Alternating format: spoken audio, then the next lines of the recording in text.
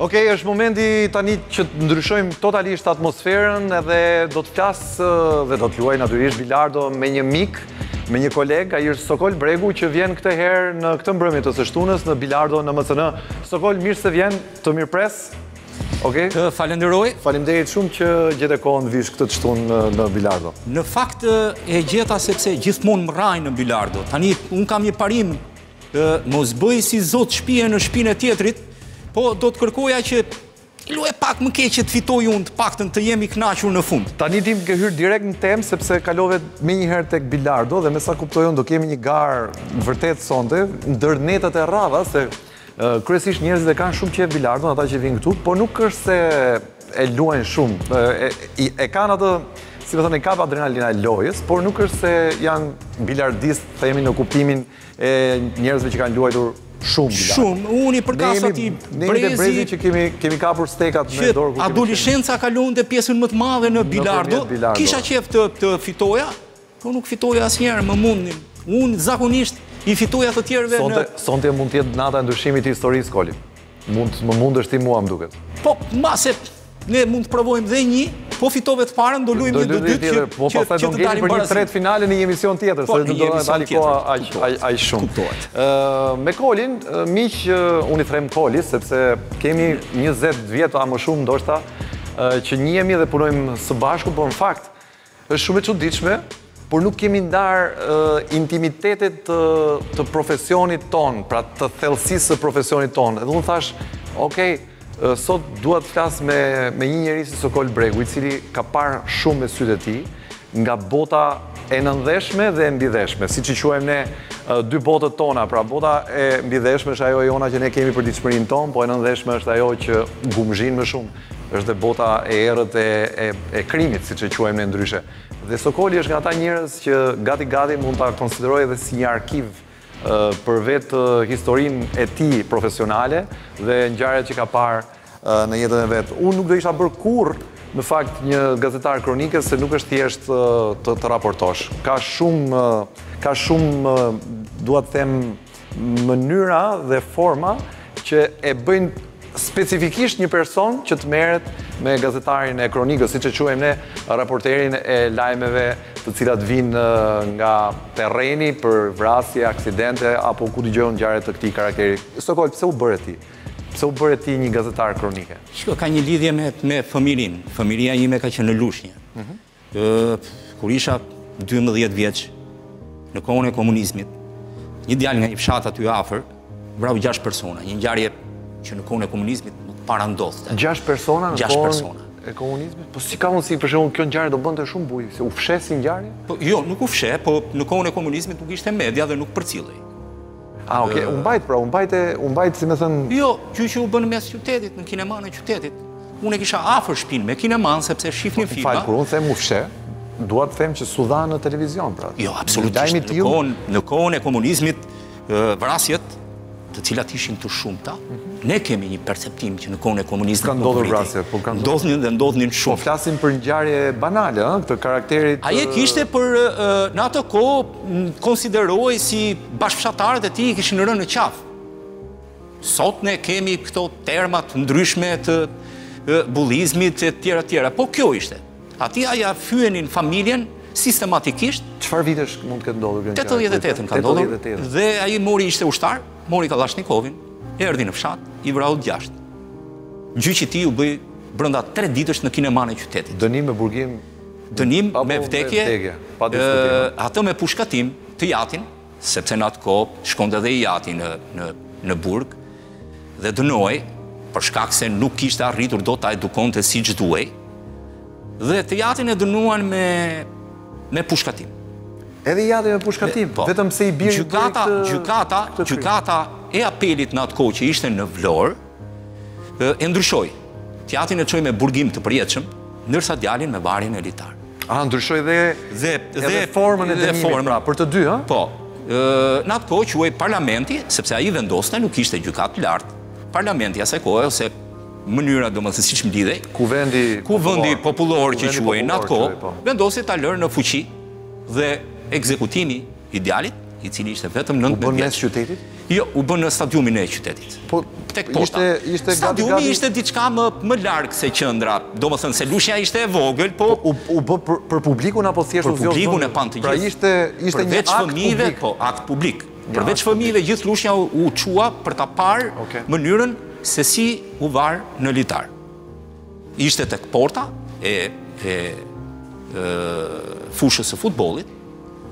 Mbeti atje për më shumë se 12 orë. Shembull, ja, pra, s'është pak makabre kur e mendon, fakt po. E panë e panë e panë të gjithë.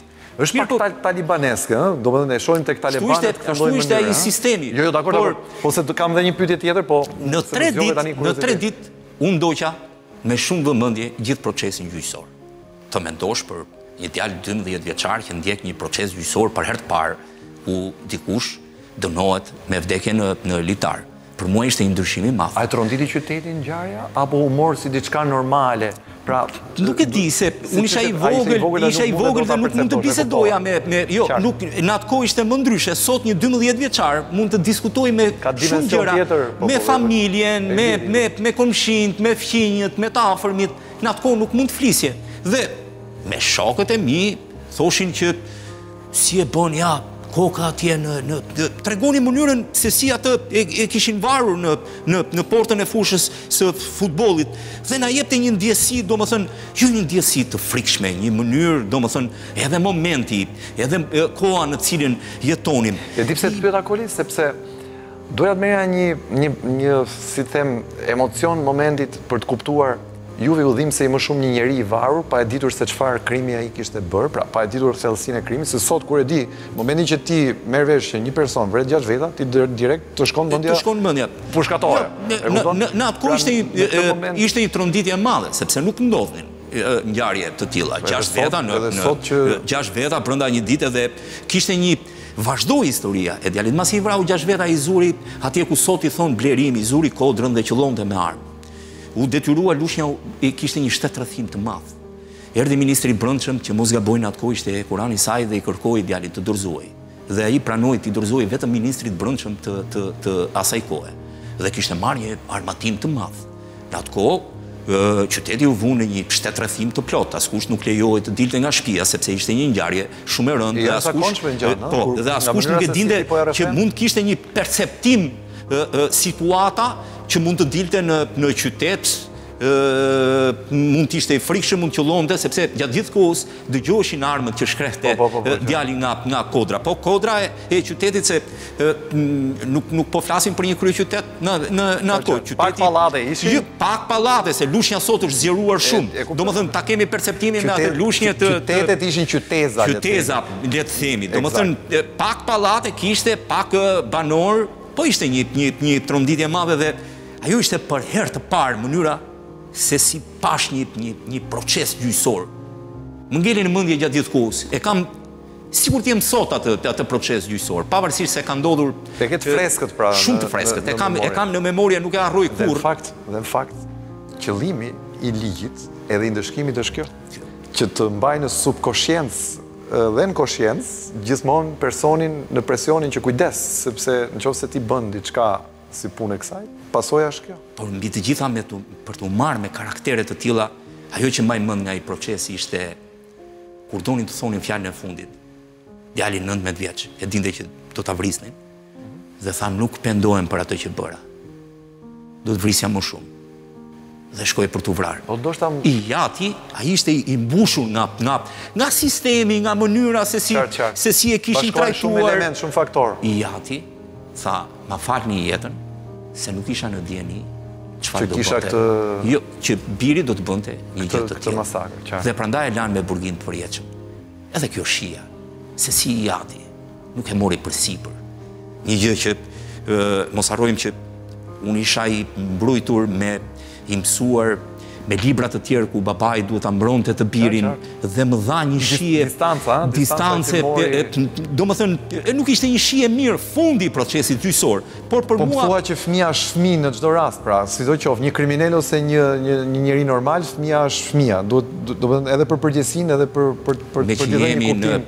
Meqë jemi në këtë temë, Eti, kush janë fëmijët më të dashur për një nënë në Shqipëri, me ato që kam takuar unë. Ai që është vrasësi më i tmerrshëm ose një ndër personazhet më të mëdhenj të krimit. Mos harrojmë se që nëna, nëna, po çdo nënë e dashuron dhe e do pafund. Sepse është fëmija pra. Dhe duke konceptuar në këtë lloj forme, ë edhe unë vetë gjithmonë e kam menduar që Mos merrni konotacionin negativ, ë, nuk po nuk nuk ka mbrojtje për kriminelin jo, në këtë rast. Jo, nuk ka. Po nëna është nënë. Dhe motiviteti. Dhe mënyra siç e shoh unë, dhe edhe nga lexime, domethënë, çdo njeri e ka absolutisht femrën e jetës vet. Dhe femra e jetës është nëna.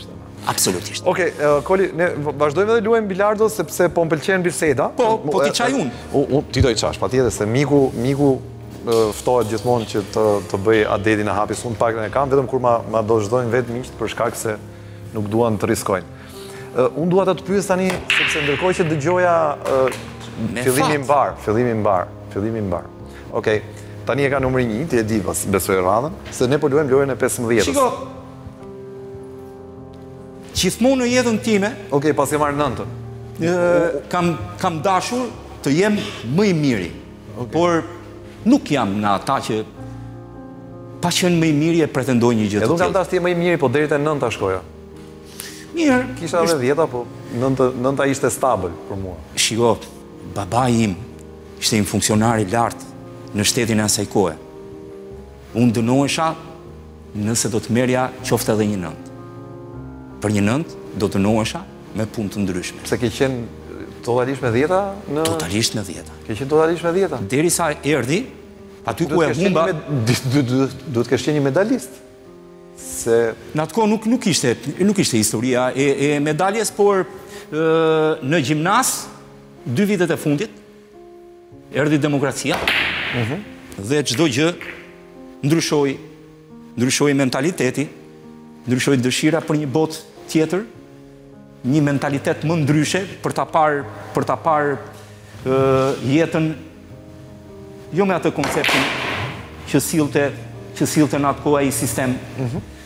Shumë prej atyre që mund ta ndjekin sot e kanë harruar, po ne jemi nga ai brezi që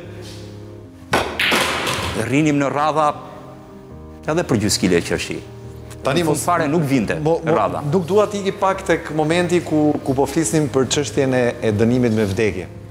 E di pse nuk dua të iki sepse ti e di më shumë se sa unë që sot kemi ngjarje kriminale nga më monstruoze, nga më të pabesueshme.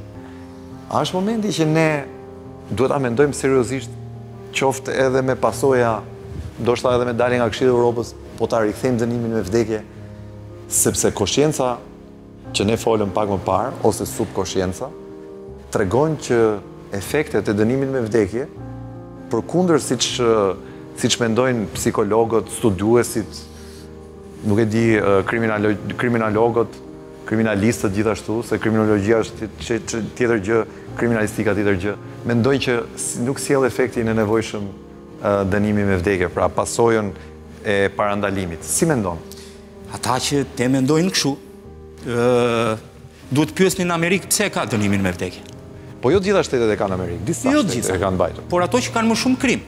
Shtetet liberale nuk e kanë. Po, domethënë ato që kanë më shumë krim. Është njësoj si në Shqipëri.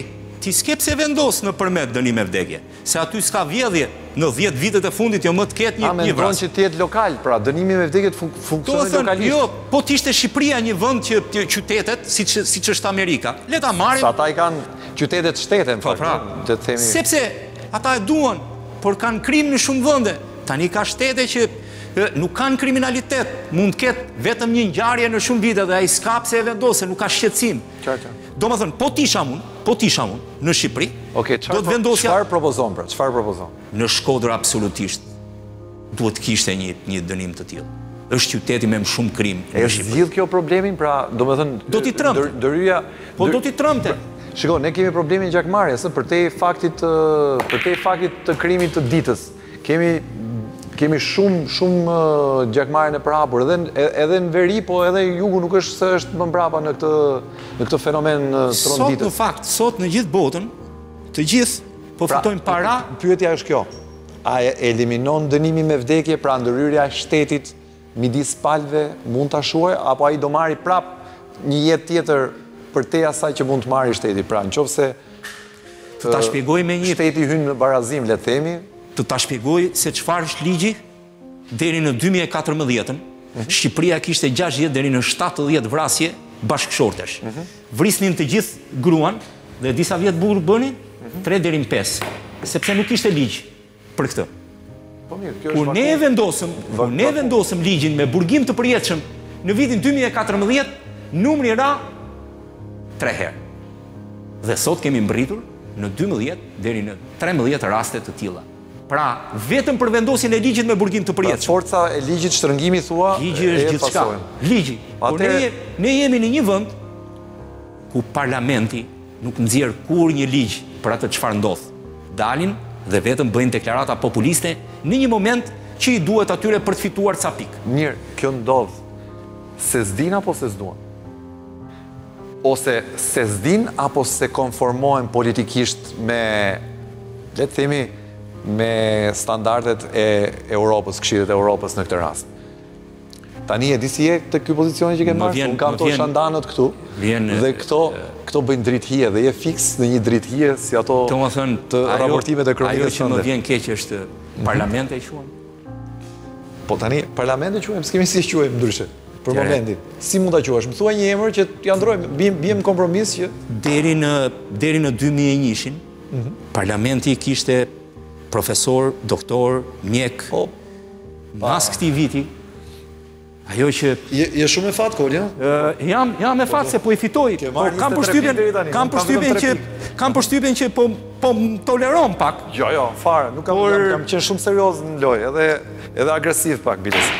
Nga ky parlament nuk mund të presim asgjë. Mhm. Është një parlament që gjithmonë më tepër janë disa kukulla që i përgjigjen të madhit në të gjitha kampet. Atë që pamë Aty ku na vjen keq dhe më vjen keq edhe për veten, është parlamenti i kaluar. Ca thonë që e bëri kryeministri. Po si mund të vendoset një parlament? Kjo nuk ishte histori politike. Kjo ishte një histori e jona. Se si në një parlament ne vendosim. Ne njerëzit që mendojmë që t'i japim popullit një teori, një mendje, i japim mendje dhe kur vjen puna, Dëgjojmë një parlament për të ardhur keq. E lëmë pak politikën... Unë nuk kam dëshirë kurrë të merrem me politikë. Jo, jo, politika... I rri larg. Politika nuk është keq që të merresh, po dhe me politikë dhe të flasësh për politikën, po meqë ishim te kjo vala e nxehtë, se nisi papritmas emisioni me këtë, unë jam shumë i befasuar dhe më ka ngelur mendja te kjo ngjarja e Lushnjës me gjashtë të vrarë. Të shtyu ty kjo ngjarje që të bëheshe gazetar? Se këtu e nisëm po, bisedën, apo... Absolutisht ishte një... Apo, jo në atë kohë... Apo unë po e lidh gabim jo, tani... Jo në atë kohë. Në atë kohë më lindi një dëshirë shumë e madhe për të qenë një, një hetues. Hetues? Po, edhe do isha një ndër hetuesit, jo vetëm më të mirë në këtë vend, çuditërisht, u futa dy herë në shkollë për juridik, Dhe nuk e, nuk e fitova dot, ë, ë, nuk e fitova dot. Po pse shkollën. si ka mundësi? Ishte, nuk e fitova dot. Ishte çështje brylash apo? Nuk e di. Nuk mund ta them këtë. Ajo që fitova ishte vetëm letërsi dhe unë shkova me dëshirë. Konkurrova për juridik dhe letërsi. Juridikun nuk e mora dot. Kisha shumë dëshirë të bëhesha një një prokuror. Një hetues apo një prokuror, se kanë qenë të dyja... Hetues, hetues po ishte në atë kohë, domethënë... Ma, ma, sepse më burojnë në mendje tani hetuesi, ideja. Hetuesi është pikërisht po personi që do ta zbërthejë një, një, një personazh. E kuptoj. Dhe unë, gjatë gjithë kohës në, në hulumtimet e mia, mhm. e kam... Me shumë fat.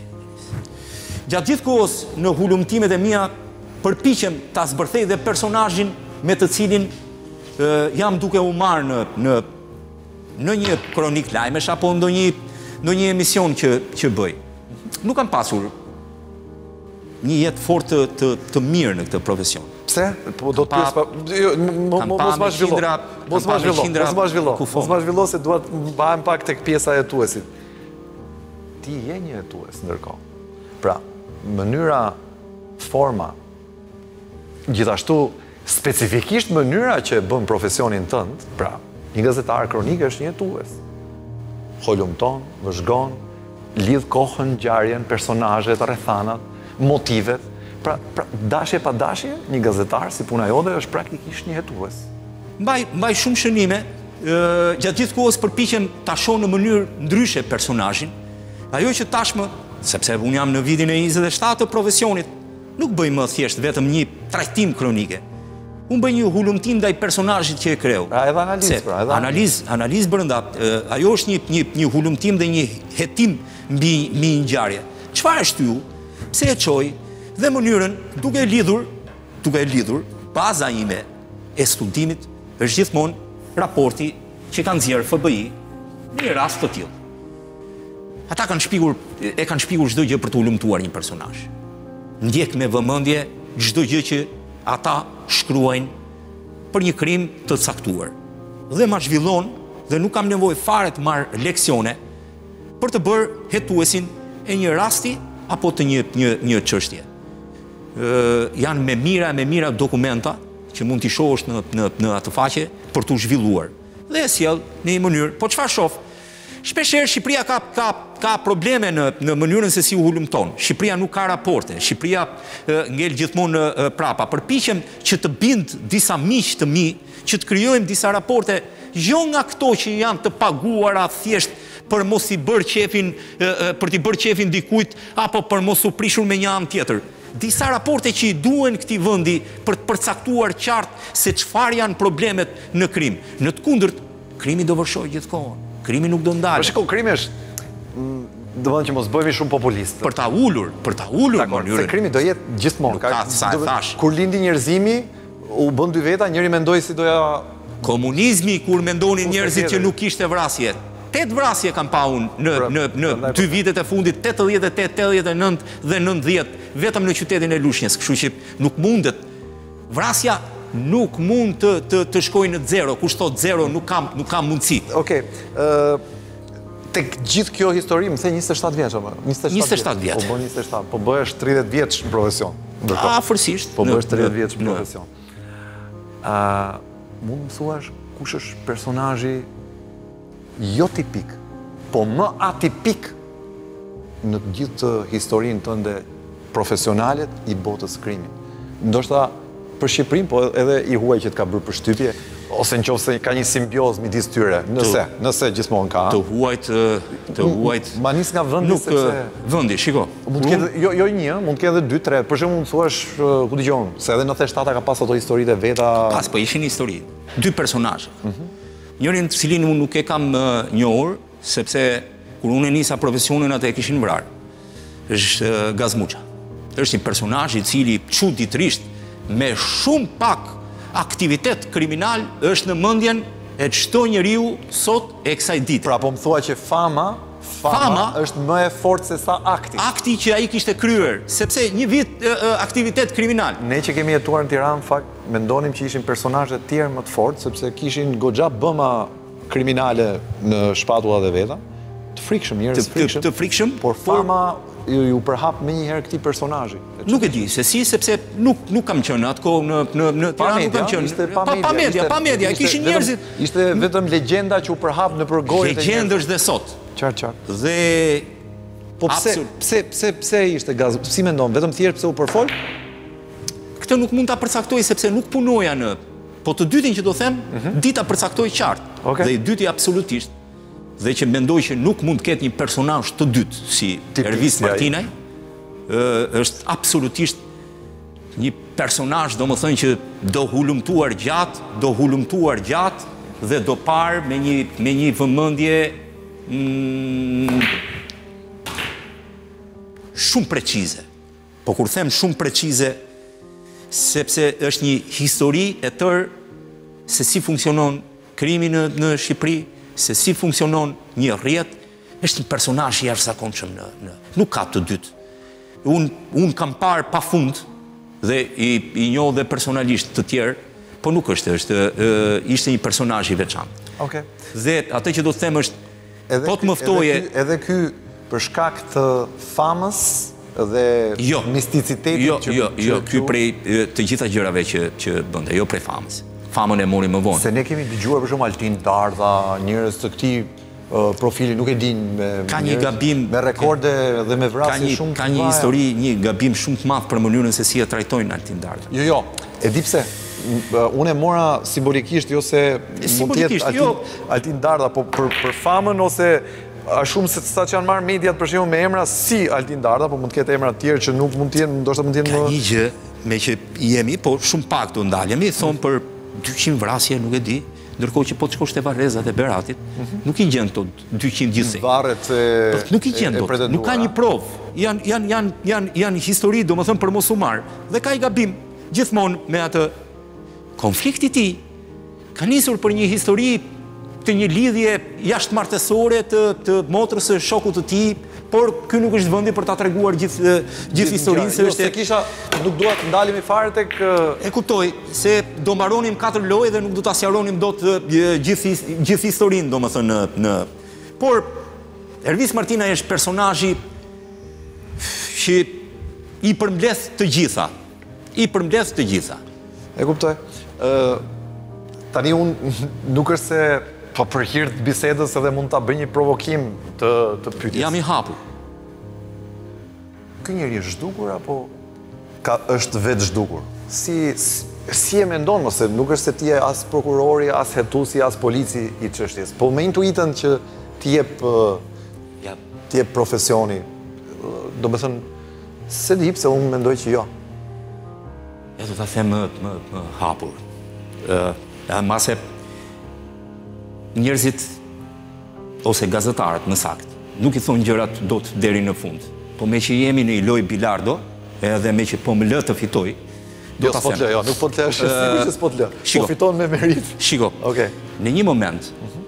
në kadastrën e Vlorës, Për dhjetë ditë, dhanë dorëheqjen shtatë veta se nuk firmosnin dot një urdhër kundra atij. Tani, në këtë moment që po flasim, mhm. ka disa veta që firmosin vetëm dokumenta kundra Ervis Martinajt. Po ta dinin që ishte gjallë askush nuk do nuk do hidhte firmën më të vogël kundër atij.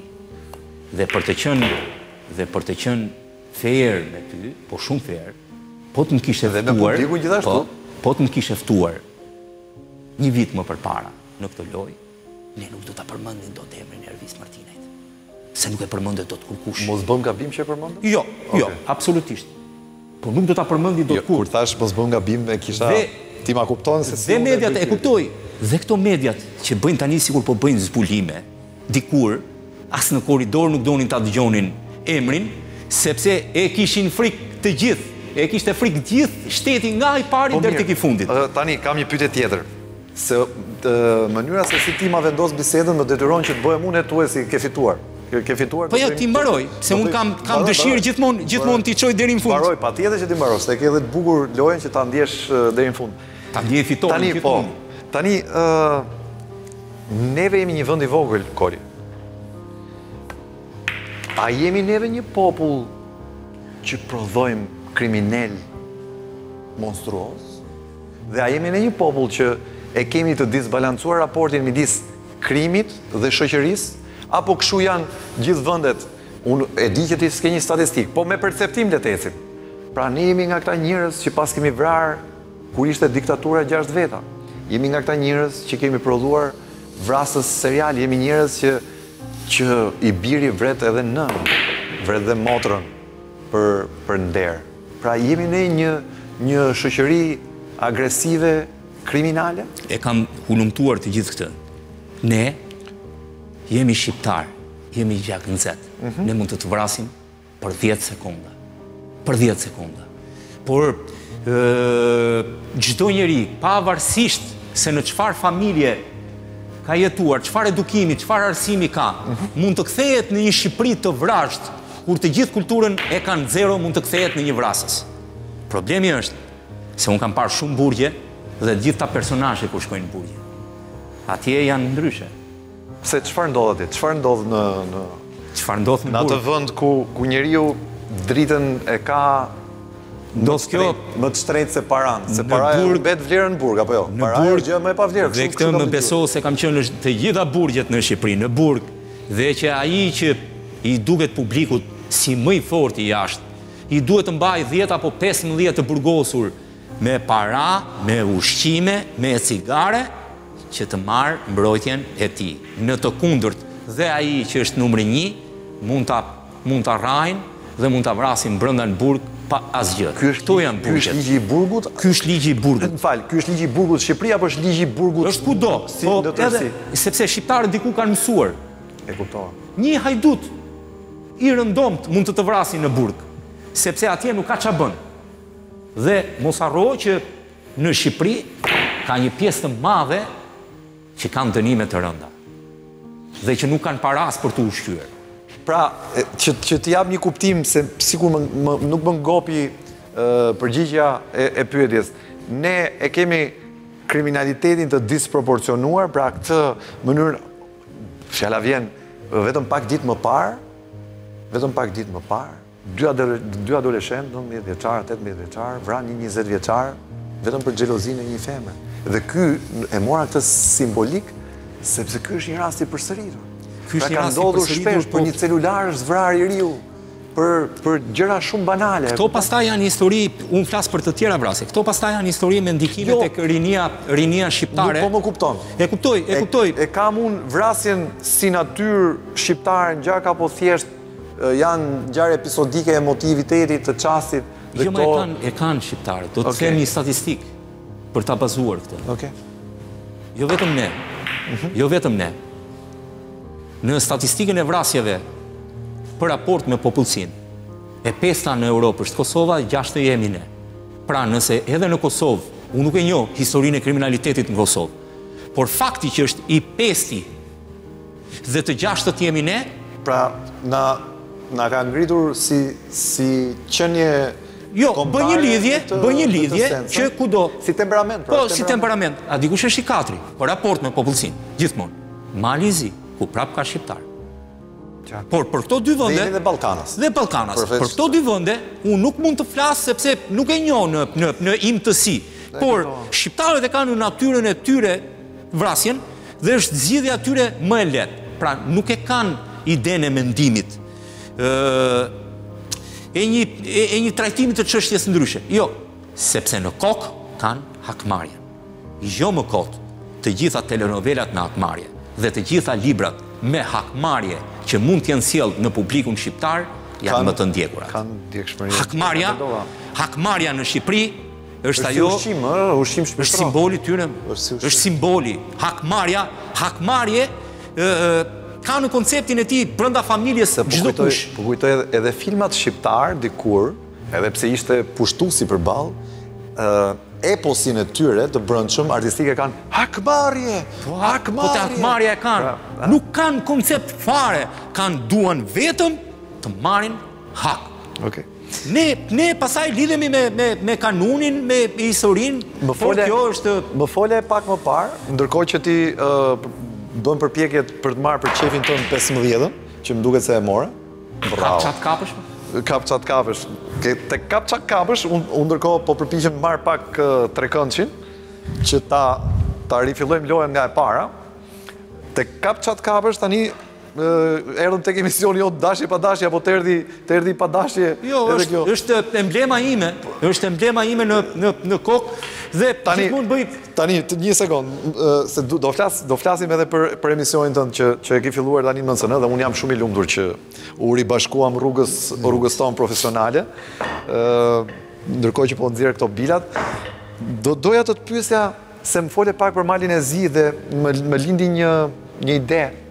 Kur të pyeta, jo rastësisht që parë, mund të kesh edhe personazhe të tjerë të botës krimit në botë. Për shembull, neve na pëlqen se me që ra fjala tek hakmarrja, gjithë njerëzit kanë shumë qejf filmin me Toni Montanën, me Al Pacinon, pra në një kuptim ajo pjesa e e aksionit, e botës luksit, e e mënyrës se si ai vendos pushtetin e tij, po nuk dua të ndaloj këtu. Do do dila tjetër gjë, tjetër kund. Cili është personazhi ë që ti ke takuar profes flas nga pikëpamja profesionale, ëh, domethënë në jetën tënde profesionale që të ka lënë më shumë Mbresa. Në në gjithë historinë e ngjarjeve që kanë ndodhur, mund të jetë takim i rastishëm, mund të jetë takim po. i dedikuar që të kanë ngarkuar si detyrë. Që kam parë, kam takuar dhe kam qenë në në në qindra dhe mijëra personazhe dhe nga ata që drejtojnë politikën në në botë, po Ajo që më ka Sa po ngelur në pëlqen mendje, bilardo me ty, po më pëlqen shumë se s'më kishte ardhur kurrë koha që t'i ve- rivendosja bilat deri ajo tani, ë? ajo që Po më ka herë dytë. mbetur në mendje është ë, procesi gjyqësor i Milosheviçit që e kam ndjekur në Hagë. Ke qenë në Hagë, ke ndjekur Po, procesin e Milosheviçit? po. Jo. E kam parë, e pabesueshme. e kam parë atë Pse? njeri vetëm në 2 metra. E ke patur afër ë, fare? afërsi. Ëm, Shihja me shumë vëmendje urrejtjen e madhe që kishte për shqiptarët. Po si si e dallove, si e dallove urrejtjen e tij? Në mënyrën në mënyrën se si i trajtonte dëshmitarët, në mënyrën se si fliste për për shqiptarët. Ai e kishte patologjike. Ashtu ë? Po, e kishte patologjike gjithçka mbi mbi shqiptarët. Di Denis, vetëm aty kam menduar që ka vetëm një gjë në jetë që nuk mund ta bëj dot më. Gjyqi i Milosheviqit ishte fiks në dy mijë e dyshin. Unë kam vajtur në javën e parë të fillimit të procesit. Lufta e Kosovës ishte larguar, ishte në 99-ën. Për shkak të disa njohje me gazetarë, unë e dija se u shtri UÇK-ja në 98-ën. Si ka mundësi që jo vetëm unë, po i gjithë brezi kurrë nuk mendoi për të qenë ushtar i UÇK-së. Ne e shihnim pak larg historinë. Dhe ajo që më ka ardhur vërtet keq, që nuk do bëj dot kurrë në jetë, është për të qenë ushtar i një rezistence ku shqiptarët janë bashkë kundra një armiku të tyre historik. Kur nisi lufta e Kosovës, nuk isha i vogël. Isha njëzet vjeç. Unë dija të, të, të qëlloja, sepse kisha bërë disa herë qitje. Për shkak edhe të 97-ës. Për shkak edhe të njohjeve të policisë. Po, se, se tani m'u fute, dalë, do të pys për 97-ën. Dija, dija, dija të qëlloja me armë. Dhe nuk vajta. Po, dhe nuk vajta kurrë Sepse nuk e ndjeja. Por, ka një gjë. Më fal, çfarë nuk ndjeje? Se jam duke Nuk e ndjeja pjesë timen në atë kohë Kosovën. Nuk e ndjeja pjesë që të isha pjesë e një një organizmi luftarak ku shqiptarët po luftonin me një me një armik historik. Nuk e ndjeja. Ke hapur Në dy mijë e dyshin, kur e pashë Milosheviqin vetëm tre metra, thashë kam humbur Pra, fatin. Pra, të erdhi koshienca me, koshienca. me vonesë. Por është një gjë, se sot njerëzit kur i dëgjoj, thonë të gjithë. Je, je i vërtet, je i vërtet. Dhe sot të gjithë thonë, unë bëra pjesën time, po, po. ndihmova dikënd me, me, me, e çar ishte ajo që bën.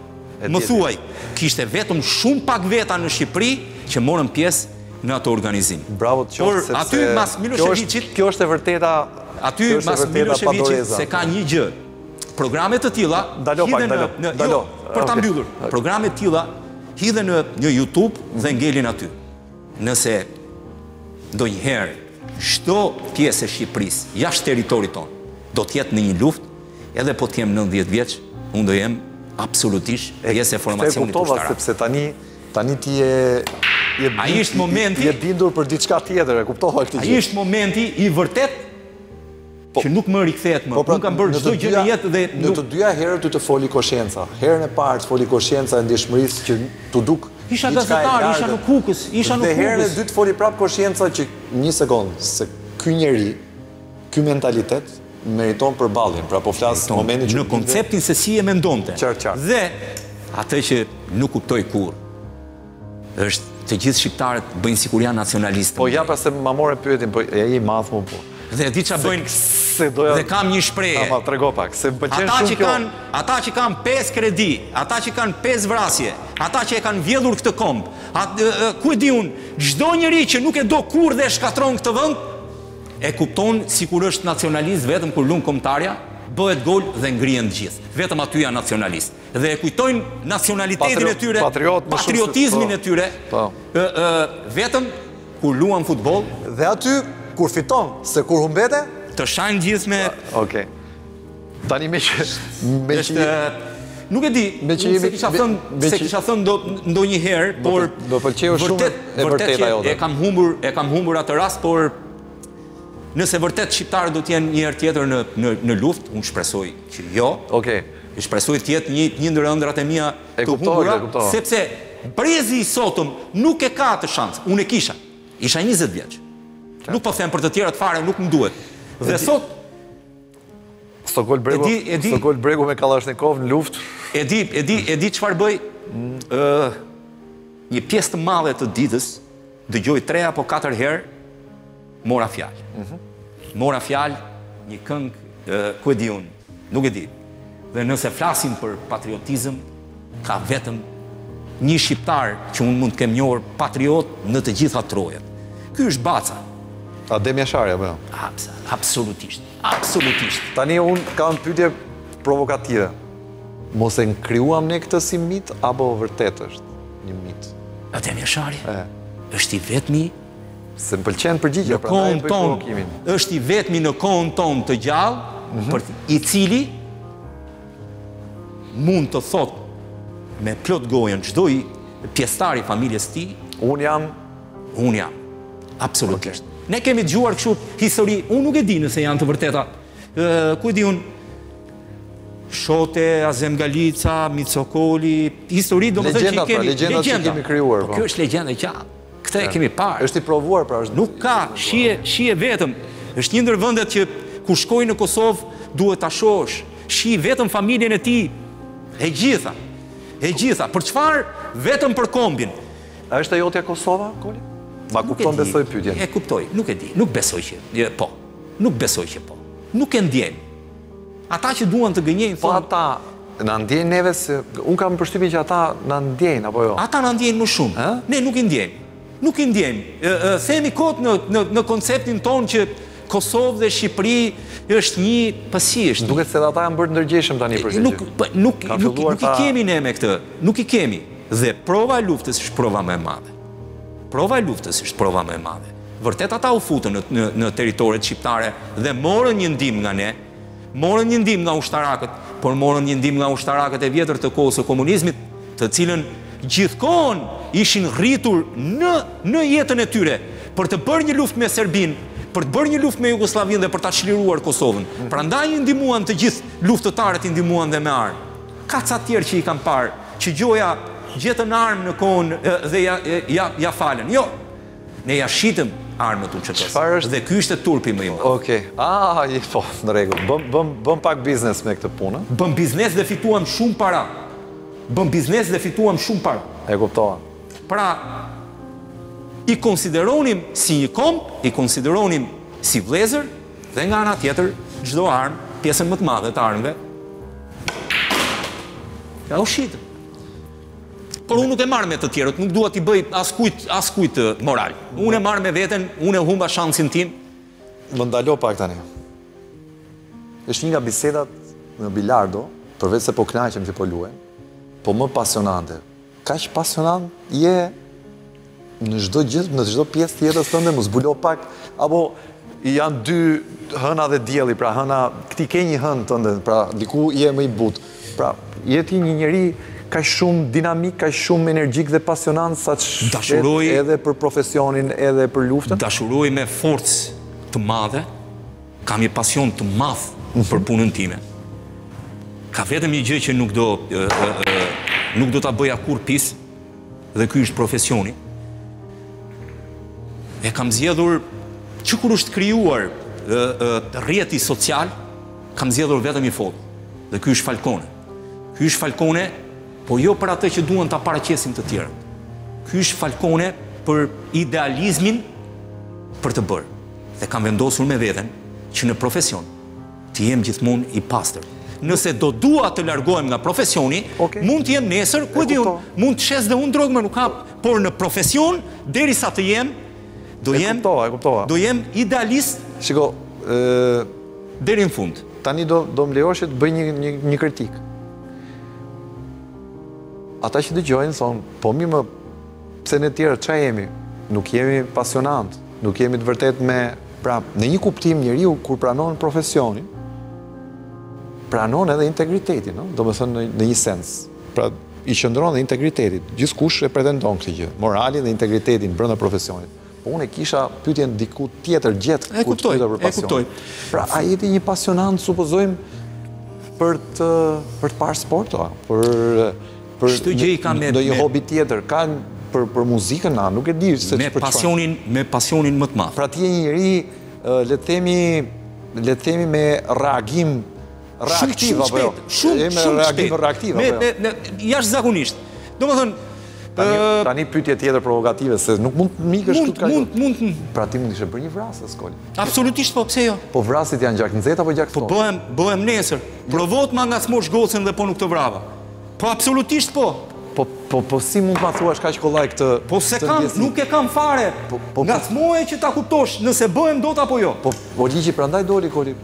Edhe shteti prandaj doli. Forca e shtetit prandaj. Jo, po unë nuk do fshihem. Po e the ti këtë gjë? Po jo, në konceptin, në konceptin tim. Ti tani sapo promovon, ti ti tani sapo promovon vetëgjyqësinë. Jo, nuk është. Shiko, një profesionisti, për një sekond tani, se po bëjmë provokime. Po, provokime. Profesionisti, qytetari dhe ë instinkti, le ta themi kështu. Ty të dominon instinkti. Instinkti kur fëmijët janë të vegjël. Kur ata rriten në moshë madhore, hyn në një tjetër proces. Kur fëmijët janë të vegjël dhe ia prek tjetrit, aty nuk mundet. Sa herë e kemi kërkuar ne dënimin me vdekje? Kur vrasin fëmijë të vegjël. Që janë tragjedi të cilat na lënë të shokuar. Po unë kur të provokova. Por në këtë vend, e kuptoj, në këtë vend ngacmohen, ngacmohen shumë familjet. Po pra, atëherë ti po ndan emotivisht rrethanën nga nga pyetja ime, unë doja të të sugjestionoja pak me pyetjen kur thashë a mund të mund të bëhesh një vrasës në kuptimin e reaksionit që të krijon emotiviteti, mo jo Jo çfarë ty do të bënte vrasës. E kuptoj, e kuptoj. Nuk doja të kaloja në dimensionin substancial të fjalës, edhe në dimensionin më të thjeshtë të vrasësit të vërtetë.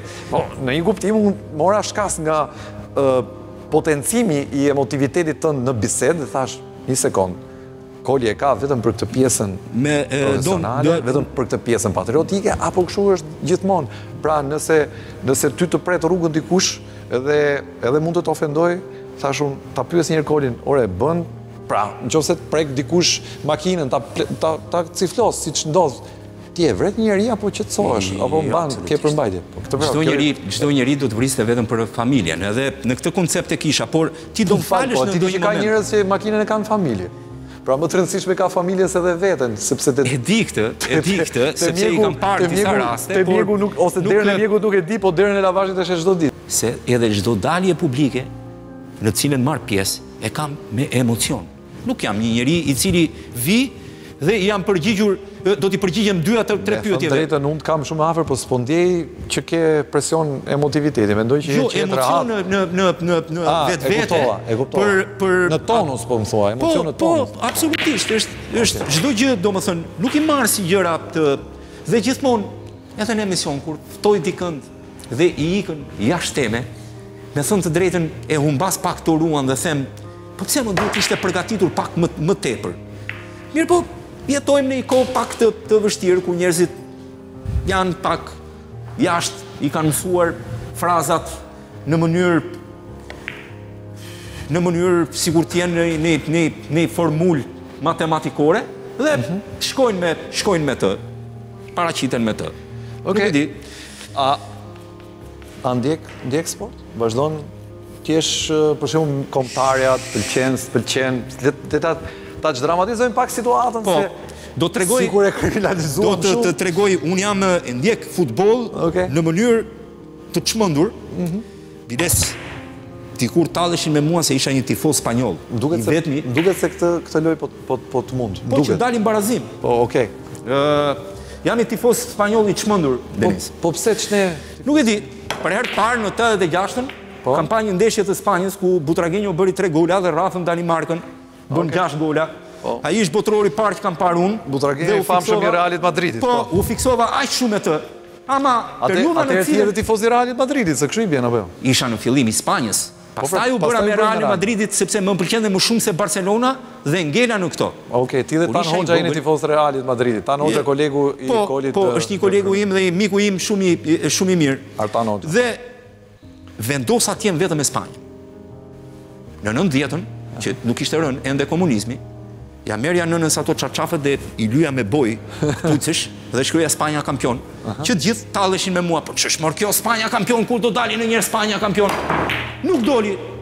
Aha. Nuk doli Spanja kampion në nëntëdhjetën, ishte shumë afër, nuk doli as në nëntëdhjetë e katër. Prapë miqtë e mi talleshin me mua që kisha gjetur ekipin e gabuar. Shumë kohë më vonë gjeta dhe një gazetar sportiv që ishte me Spanjën. I cili ishte? Saimir Demi. Ah, vllai. Dhe kur rrihej Spanja, po. pinim të dy në një në një në një teke alkool e thoshim nuk fitoi. Po ishim të dy, e kisha gjetë pra, më së fundi. Dëshpërimin e kthenit po. në bashkëbisedim.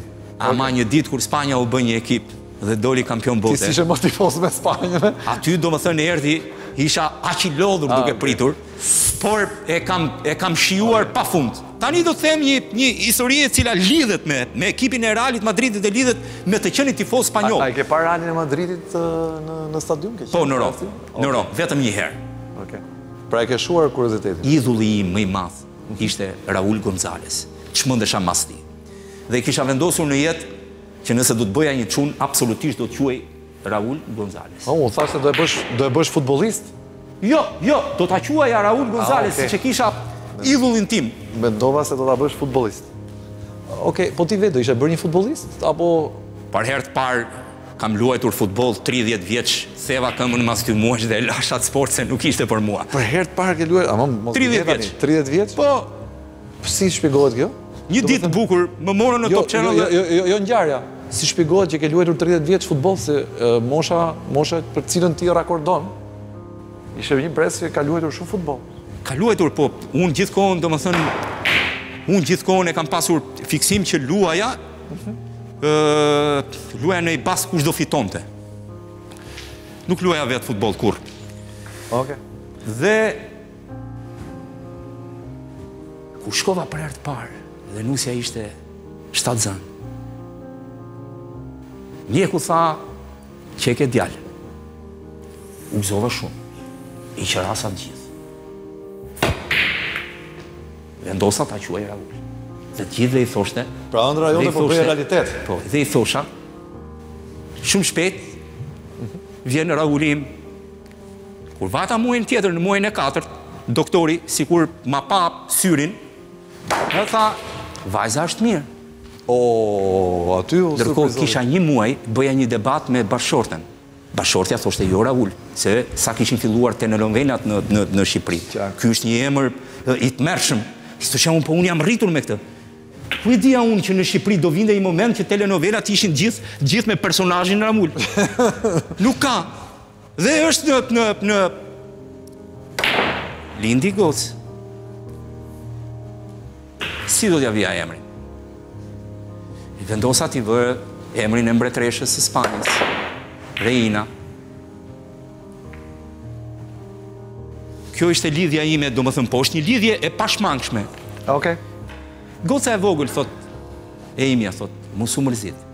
Kur unë të bëj një djalë, absolutisht do t'ja vë emrin Raul. E kuptova.